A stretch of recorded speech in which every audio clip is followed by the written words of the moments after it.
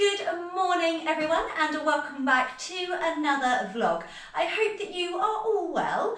So today I am upstairs in the blue room or in the master bedroom, still no furniture as you can see, which means I've got lots of space to do a little unboxing with you today. So I've been shopping, guys. I bought a new lampshade from Next to actually go up in this room. At the moment we've got a crystal lampshade, which is very nice, but I think it will suit the dressing room a little bit better.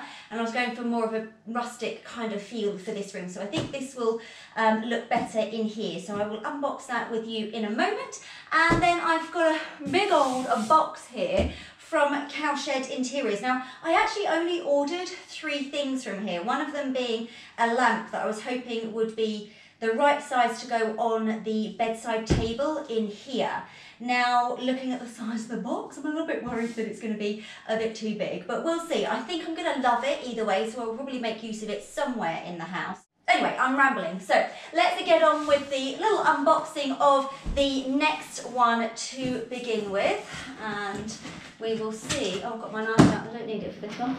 We will see what's in here. I'm hoping I like this one because I've thrown away the um, outside packaging by accident. So I'm very much hoping that it is nice. So that is the fittings and instructions in there. I will leave those for my lovely husband to look at. And right, let's have a little look at the lamp. Oh, oh, I think I'm to like it. Okay. Oh. So, um, hold on, what have we got to do here? Take that out. Okay. So, this is the lamp. Oh, I love it. That is to look gorgeous, actually. I'm really yeah, I'm really pleased with that. It's really going to look nice. If you look at it against the blue there, that's going to look fab. Oh yes, I am beyond pleased with this and it's going to look so much better in this room than the um, current lampshade that we've got. Oh, I'm so pleased with that. Well done, next. I love it. Right, okay, so first unboxing is a success. I'm just going to leave that there so that I don't ruin it and just push it to one side. Okay, let's have a little look in my Cowshed Interiors box. So I've come with a trusty knife. Let's see if we can get that undone in a way. Lovely. Okay. God, it's such a big box. Okay. Pop that down there. Right. Well, there's a lot of paper. My recycling bin's already so full.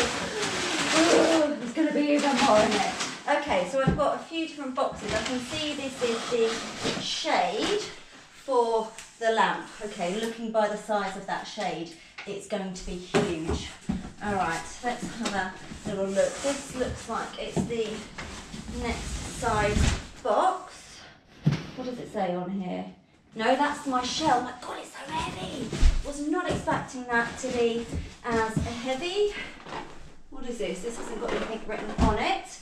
And this is uh, antique. Well, oh, this is my lamp and base. Okay, five minutes later and a whole bunch of mess later, we are in.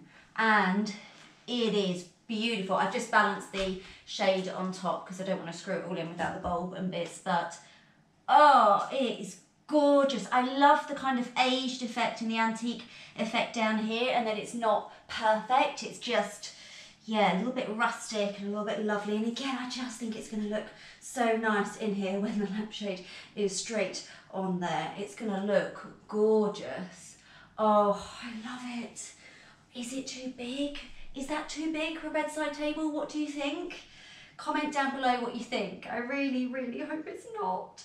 Um, they're quite big, our bedside tables. Oh, I don't know. I don't know. Okay, I'm going to have to think about it. But I do love it. And I do think that I will keep it and I will find somewhere in the house for it because it's so beautiful. Oh, I love it so much. Okay, on to the next box from Cowshed Interiors. And this one's a nice light box, so we shall see oh, what is in here.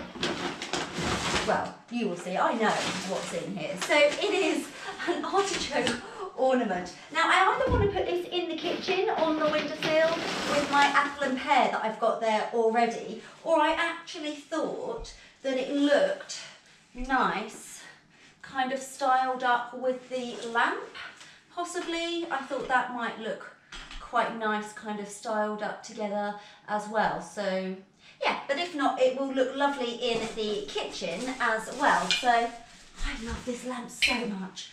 So yeah, I'm pleased with that. That's nice. It's nice and light as well. I was expecting it to be super heavy. So yeah, I think that will look lovely styled up. And then our third and final box is a little bit heavier actually. And I thought that it wouldn't be. Right, it says on here open with care. So I'm going to try and do that. She says bang. Right. Oh, okay, it's got polystyrene around it, that's fine. That's all right. Okay, pop that there. Yeah, I do like it a lot, but it is large, much larger than what I thought. I actually think it's too big. I don't think I've got anywhere in the house to put that, so that's a shame. I might have to return that one, but it is gorgeous. Um, so yeah, this is my, my shell that is massive and just a little bit too big really for what I'm after. This most likely, well no it is, my own fault. I really didn't look at the dimensions on the website, I just thought it would be like a shell size. Um, I was literally expecting it to be like this. And then when I picked it up and it was so heavy, I was like, what? Why is it so heavy? And it's because it's massive. That would be why it's so heavy. So, okay, well, I think I, I love it, but I think I will probably be returning the shell. I'll be keeping the artichoke, I'll be keeping, hopefully, the lamp. I just need to work out where it can go, if it can go on a bedside table or not. I just love it. I just love the look of it. I think it's beautiful. Um, and the, yes, the lampshade from Next was a great success. So yeah, I think overall that was quite a successful little shopping trip. I will be returning the shell, um, but the rest of it, I think hopefully will be looking lovely in my new home. Okay, so this is the artichoke styled up on my kitchen windowsill. I think it looks really cute there. I'm really pleased with that actually, and I think it goes really nicely with my apple and pear there, and then you've got my artichoke on the other side of my beautiful flowers. So I'm really chuffed with that. I think it looks really, really good.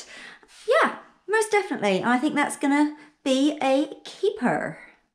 Hi guys, so I am back in the blue room this morning and I just wanted to give you a quick update because Jamie's popped the next lampshade up and I just wanted to show you it. I think it looks fab, so I wanted to show you that quickly and also just an update on my cowshed interior. So I have sent the shell back and I did have a little look on the website and it was completely my fault, um, as I knew it was anyway. Um, but it actually is written on there, large shell. So I don't know what I was reading, thinking that it was going to be small, but never mind.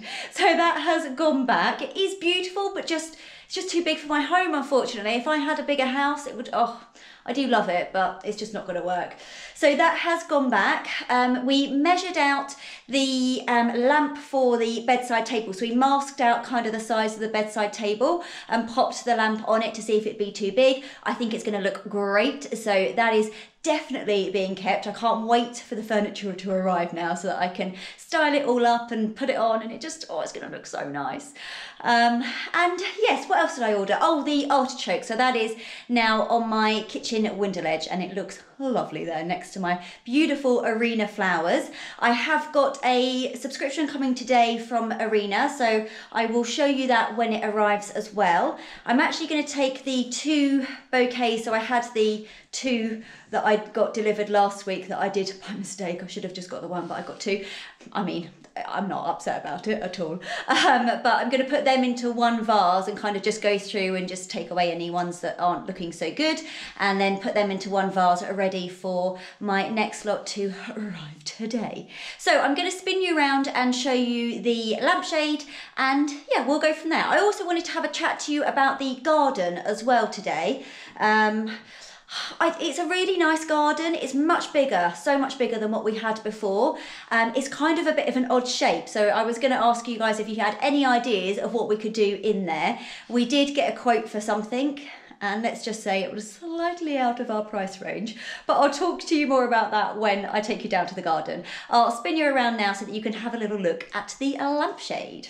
So this is the lampshade in all its glory. I haven't put the light on because I think you can see it better um, with it off. But yeah, I think it looks fab. I really do think that it suits the room and that kind of rustic feel that we're after.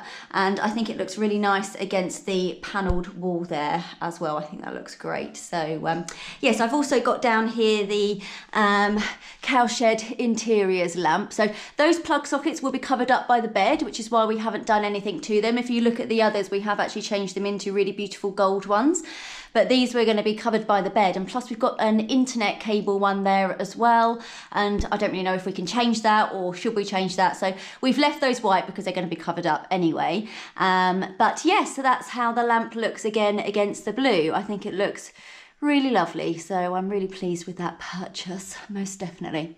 Okay right let's take you downstairs and I will show you the garden. Okay so this is the garden, guys. Um, it's a little bit wet out there. Not actually, I will. Oh, I've got my slippers on. I'm all good. So this is our garden. So you see what I mean? It's a little bit of a weird shape. It's got kind of a hill right in the middle of it.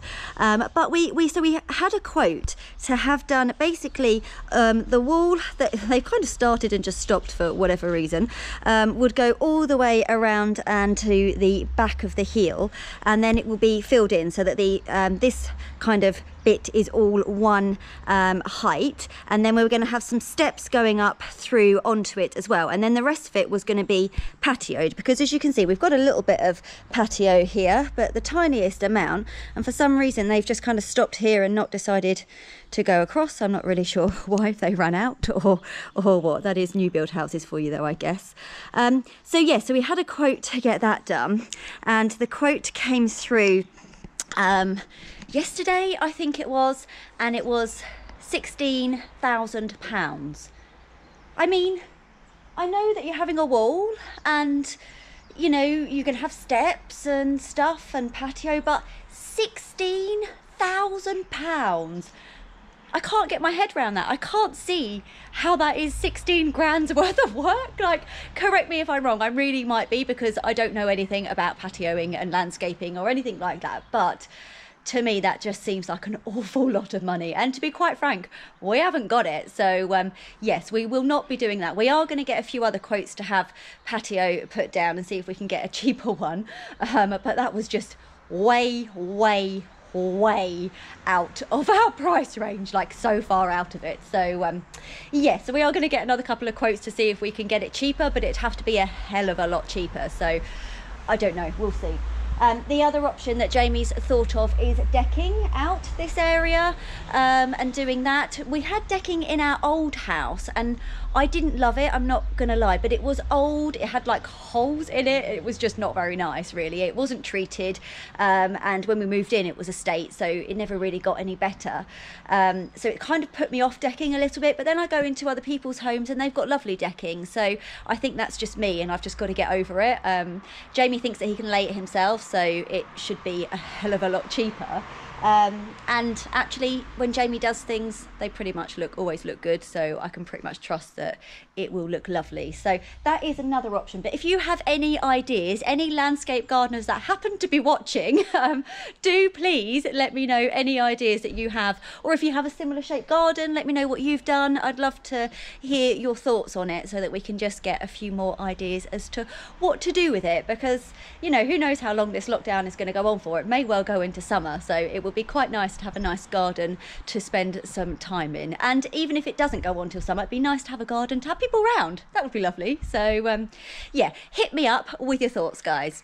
Right, I have got my two bunches of beautiful bouquets today um, from Arena um, and this lovely one as well. I just can't get over the colour of this one. I just love it.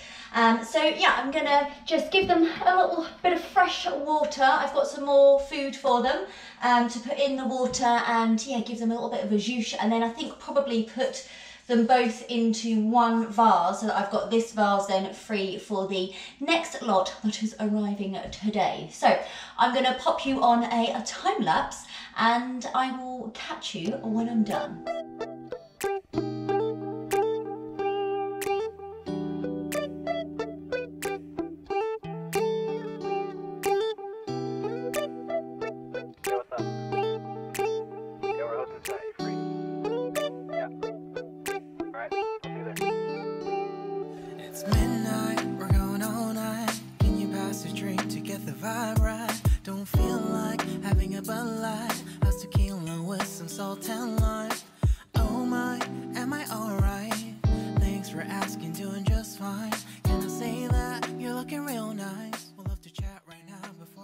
Okay, look at them.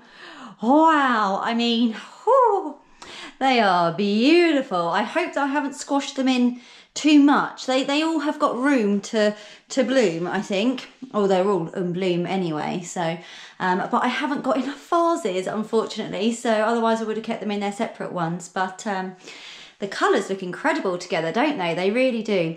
Excuse that, that's my, this is what you were balanced on um, when I was um, doing my time lapse there. So you've got a tin and um, Livia's Dunks. I love these, these are so nice.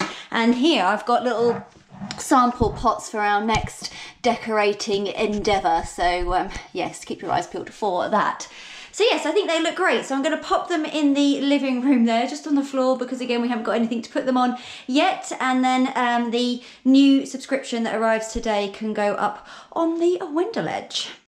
Good morning everyone. It is now Saturday morning and we've just popped to our local town just down the road. Farmers um, Market Day. To, it's Farmers Market Day, yeah, exactly. So we couldn't actually get a food shop slot this week so we thought we'd take advantage of the fact the Farmers Market is on and have a little wander around. So I thought I'd bring you guys along with us and yeah, you can see what is there.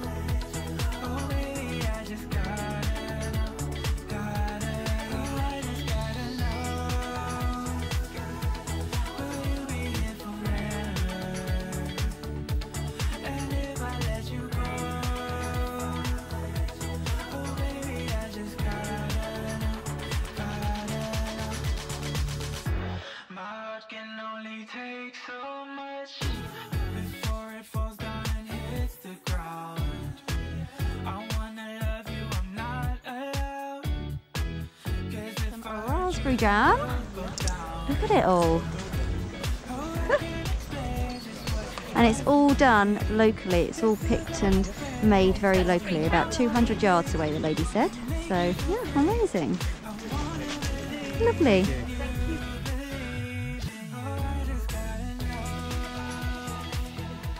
So, guys, we are just on our way back home from the farmer's market. I've just built it all down. okay. That's alright, you can nick it off later. uh, take off.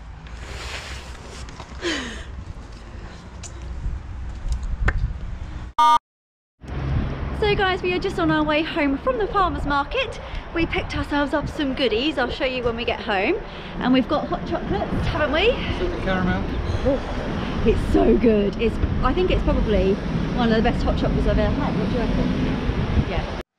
So we're back home from the farmer's market and I just thought I'd show you quickly what we got. So we've got a really lovely lunch coming up. This is what we've got for lunch is we've got a sausage roll each. Now I got a lamb and mint one. What one did you get, Jay? Uh, mine's the bigger one. The- Mine's the apple. Oh, uh, wild that's the boar and apple. Wild boar and apple and then what was in your scotch egg? Just a normal Scotch egg. a Scotch egg. So Jamie's going to have the sausage roll and Scotch egg, Scotch egg for lunch, and I'm going to have my sausage roll. And then we've got a pie for dinner, which is a steak and Guinness or beef and Guinness pie. So yeah, that will be lovely. Um, we also got some chocolate. So I am looking forward to that later. What does it say on the back? Ruby, ru- mm, mm, ruby raspberry crumble chocolate. Yeah, that looks tasty. So I'm looking forward to that later. We got some Sussex honey. Um, that would be nice too. And some jam. So this jam is literally made 200 yards away from where she was selling it. So that was really nice. And she was also telling us about that they they make woodwork stuff there as well. I don't think I got any footage of that, but um, they had a little extra on the end of it, uh, their stall that had woodwork bits and pieces. And I'm after a um, welly stand to put outside the house. And I've seen some on Etsy and they're really lovely, but they're quite pricey. And yeah, I was thinking I'd much rather give it back to the local community. So I'm going to see if they can do us a welly stand, which will be lovely.